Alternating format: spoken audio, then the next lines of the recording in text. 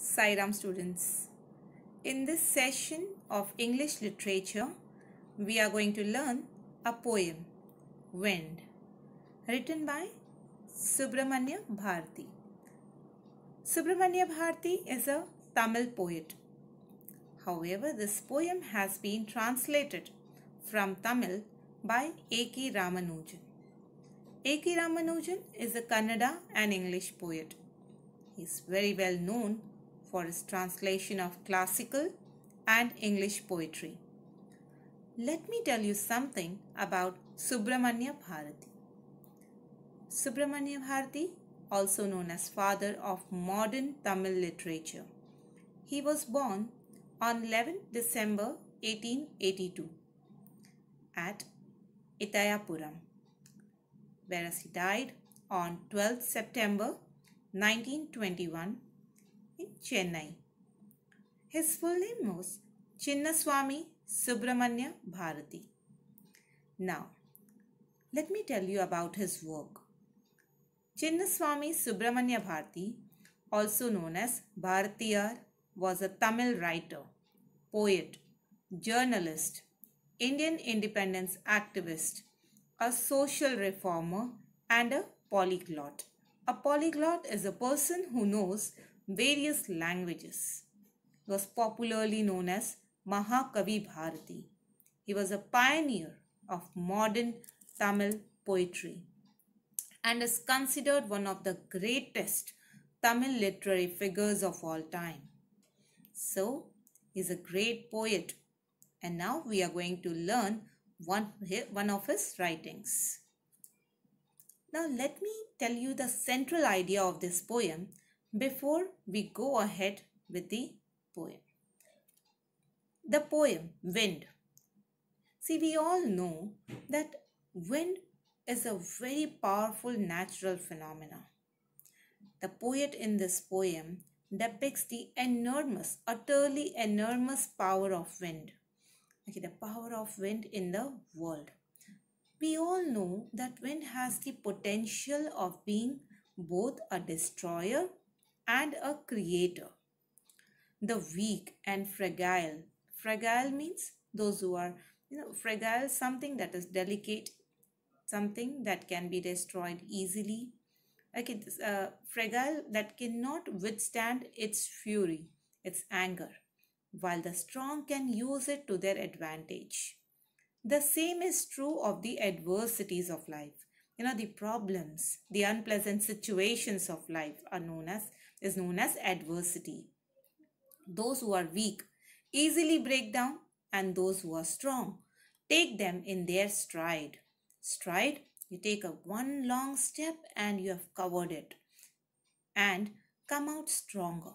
Therefore, our attitude to life and its trials and tribulations you know all the troubles and all the events that come in our life that determines our response to them okay so this wind this poem here the poet gives a strong message to us that the those who are weak who cannot withstand the problematic situations they will crumble down whereas the one who are stronger will take it as an opportunity and emerge a more stronger personality.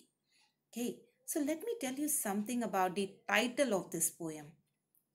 The word wind, without the definite article the, refers only to the natural phenomenon called wind that can be good and evil, constructive and destructive, depending on the circumstances and the attitude of people. There are at least four different facets of wind as presented in this poem. Okay, so there is step by step explanation how wind is depict, depicted as a naughty child in the initial lines and then a raging destructive youth. A very a very helpful friend and then a powerful god which can be who can be both creator and destroyer. So the one word title presents the entire persona of the natural force called wind, who has enjoyed the status of God in many cultures, including the Tamil culture and mythology. Thus, the title is very appropriate. So, students, with on this note, let us start with our poem Wind, written by Subramanya Bharati. I'll read out the poem for you and then I'll explain it. Explain with the first four lines. The wind blows strongly and causes a lot of destruction. How can we make friends with it? Wind, come softly. Don't break the shutters of the windows. Don't scatter the papers. Don't throw down the books on the shelf. There, look what you did. You threw them all down. You tore the pages of the books. You brought rain again. You are very clever at poking fun at weaklings. Frail crumbling houses, crumbling doors, crumbling rafters, crumbling wood, crumbling bodies, crumbling lives, crumbling hearts. The wind god winnows and crushes them all. He won't do what you tell him. So Come, let's build strong homes. Let's join the doors firmly. Practice to firm the body. Make the heart steadfast. Do this, and the wind will be friends with us. The wind blows out weak fires. He makes strong fires roar and flourish. His friendship is good. We praise him every day. Translated by written by Subramanya Bharati, translated from the Tamil by A.K. Ramanujan. Now, as I already gave you introduction about our writer Subramanya Bharati, uh, he is a great Tamil poet, famous for his patriotism also in the pre-independence era.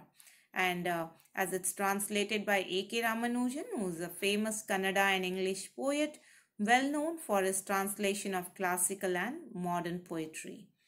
Now, this poem Wind, as I always say in uh, our English literature lecture, that you can uh, download the NCERT text from the internet. Okay, and uh, you can go through this poem. And I hope you are having a paper and a pen so that you write down the meaning of the meaning of new words and the difficult words that we come across in this poem. So let us start students. Let me give you the explanation.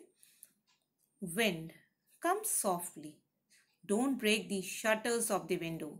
Shutters of the window, the outside frame of the window, you know, which acts as a protecting agent and that acts um, protects us from the light and uh, wind, and other forces that try to enter our house.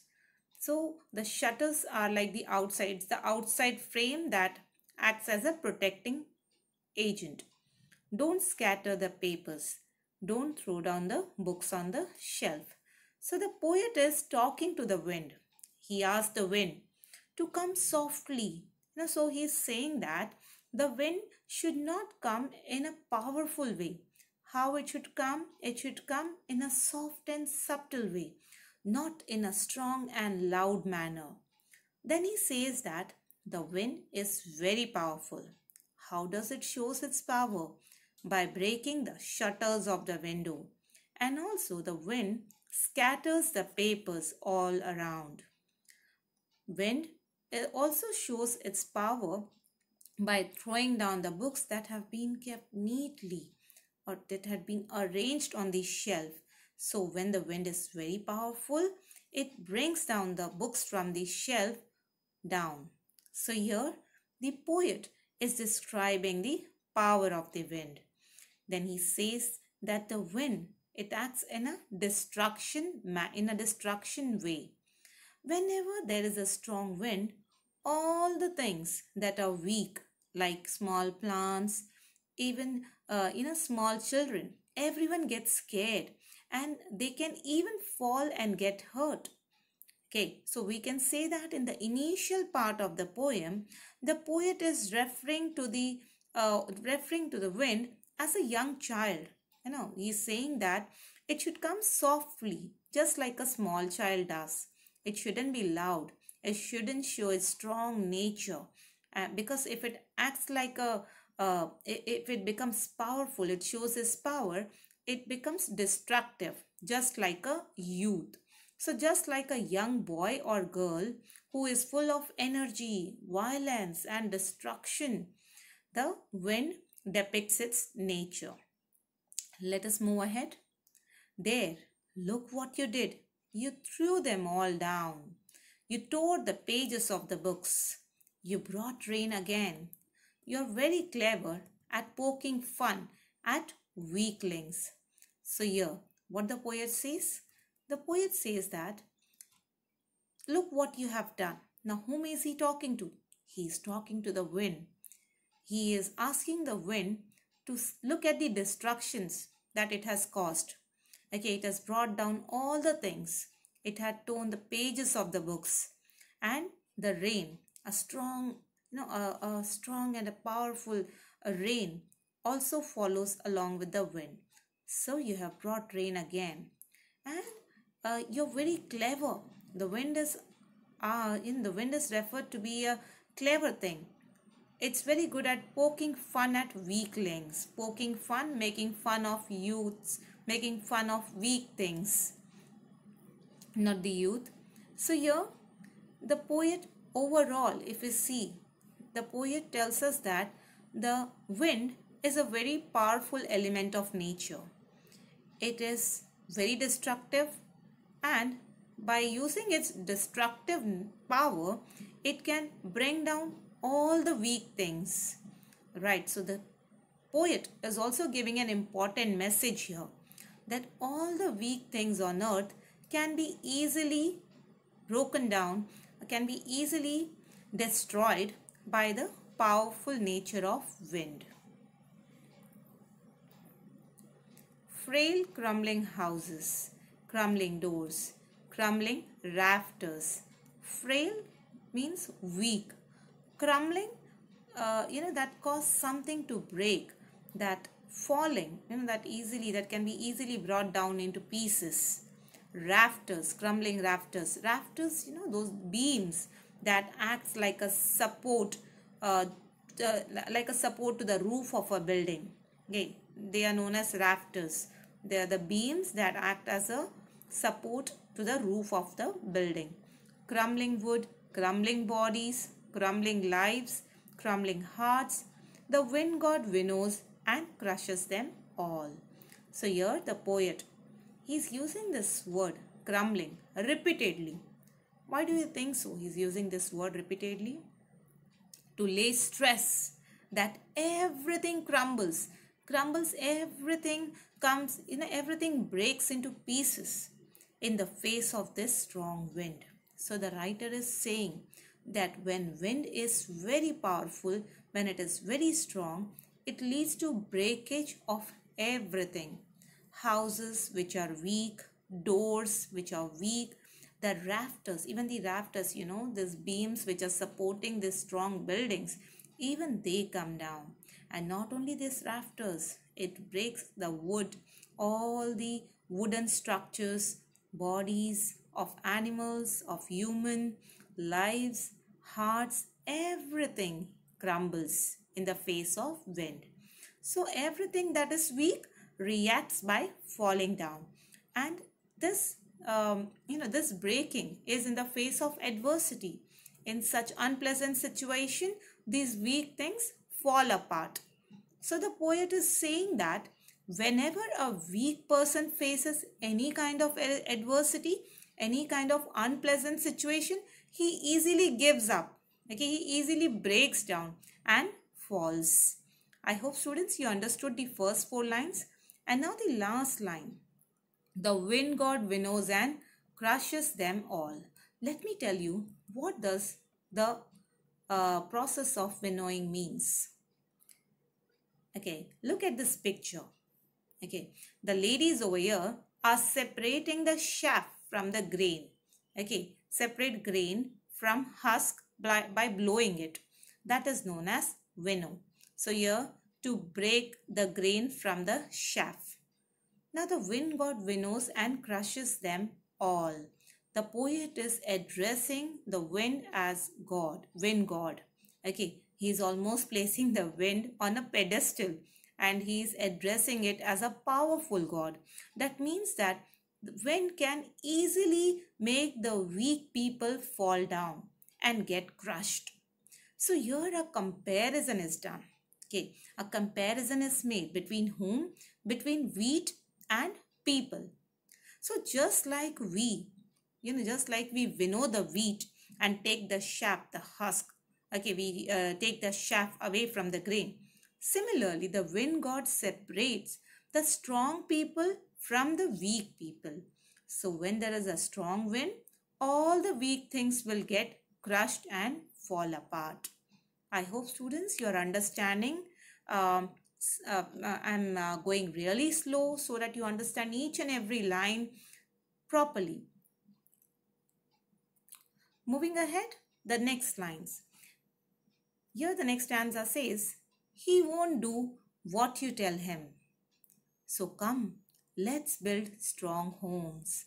Let's join the firm's doors firmly. Practice to firm the body.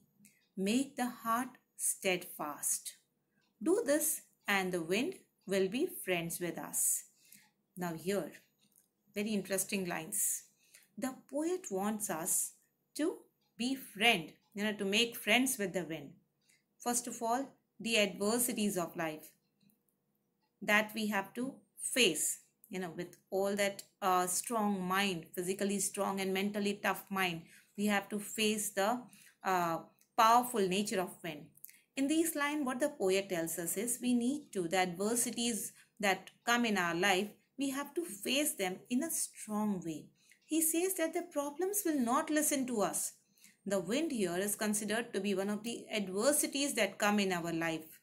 He won't do what you tell him. So what it means? That the problems will not listen to us. They will come. Anytime they will come. What we have to do? We should be prepared to face them. In preparation, what we have to do? We should build strong homes. We should join the doors firmly. When we are joining the firms, uh, for, uh, doors firmly, we uh, we won't allow the wind to get into our house. We won't allow the problems to enter our house, enter our premises. And then he says that we should make our bodies stronger. We need to become physically strong, mentally tough, so that we are able to face these challenges of life. We need to make our heart our hearts firm you know steadfast. Steadfast means we need to make our hearts firm. We need not uh, become weak when we face any kind of problems or unpleasant situations in life. And then once again we are if we are strong enough what will happen? All the challenges will become our friends. They will be like our friends and we will not feel that they are troublesome all right so once we become friends to these problems the wind is referred here. The wind is referred as a unpleasant situation of our life. Okay, it's considered to be the adversity that comes in our life.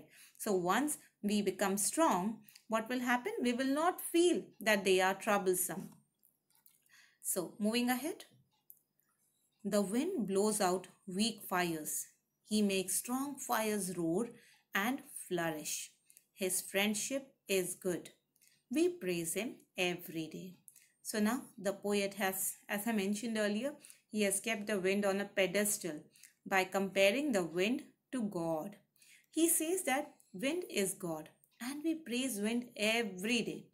Okay, just like we pray to God regularly, every day we pray to God. Okay, so similarly, wind, okay, wind is referred as God compared to God. He says that wind is God and we praise wind every day. He adds that everything that is weak gets finished off in the face of a strong wind. Whereas all the things that are strong will flourish, will grow, will become successful, and they will become stronger and stronger. He is giving us a very important message here. The poet, what he wants to give, what he wants us to understand is that we should not feel bad or we should not feel weak whenever we are facing the challenges in life challenges or any adversities in life. we should make ourselves physically and mentally strong so that we face these challenges. And once we have done that, you know what will happen? Once we have made ourselves strong enough, we will overcome the challenges of life. We will become friends with the challenges itself. And then we will be happy. Okay, why we will be happy? Because we had these challenges. We'll be happy that we had these challenges in our life. Because they will help us become more stronger and better. Right? So adversities are necessary so that we emerge as a stronger personality. That's a very strong message that the poet gives us in this poem. Now students, I hope you are able to understand, you understood this poem really well and the important message that the poet gives to us, gives to us. What is the message or the moral of this poem? The poem, the poem, it carries the message that one must develop mental toughness and physical strength in order to survive the hardships of life. If a person is feeble, if a person is weak, he will break down. Just as the weak buildings crumble down in the harsh windstorms, similarly a person will break down. Therefore, destructive forces should be turned into good friends with strength and determination. This is the message, the moral given to us by the poet. Now students, there are many literary devices that we come across. Let me tell you a few of them. Personification. I know we have been reading, we have been learning this uh, literary device since ages. So personification is a literary device in which the poet associates human attributes with some abstract idea or an inanimate object or a natural phenomena. Now in the poem, there's an example given over here. You tore the pages of the books. Here, the pronoun you refers to the wind, an element of nature. The wind is addressed as if it were a person. Okay, do you really think wind can tear the pages? Okay, it doesn't have hands like humans. Okay, so a non-living thing is given a what is it given? It's given it, it it is referred it is addressed as if it were a person.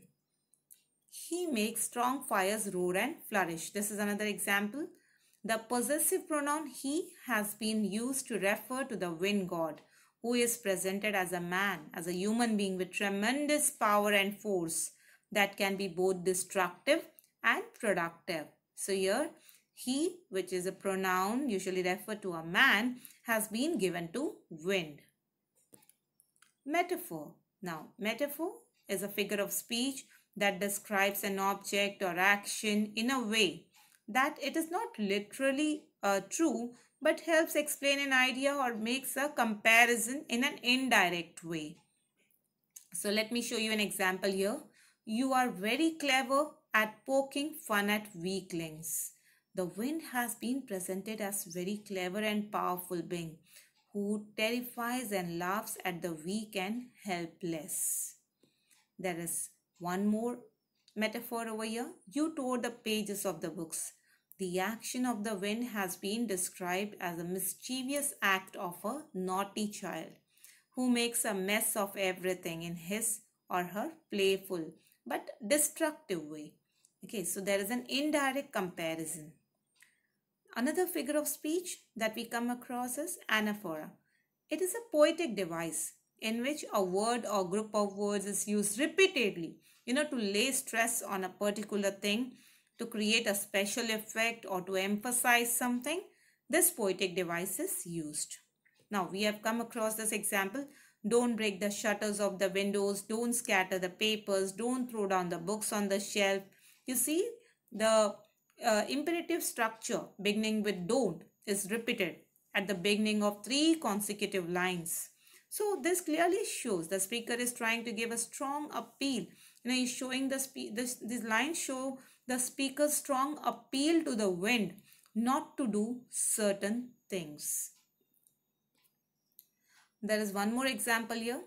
Frail crumbling houses, crumbling doors, crumbling rafters, crumbling wood, crumbling bodies, crumbling lives, crumbling hearts.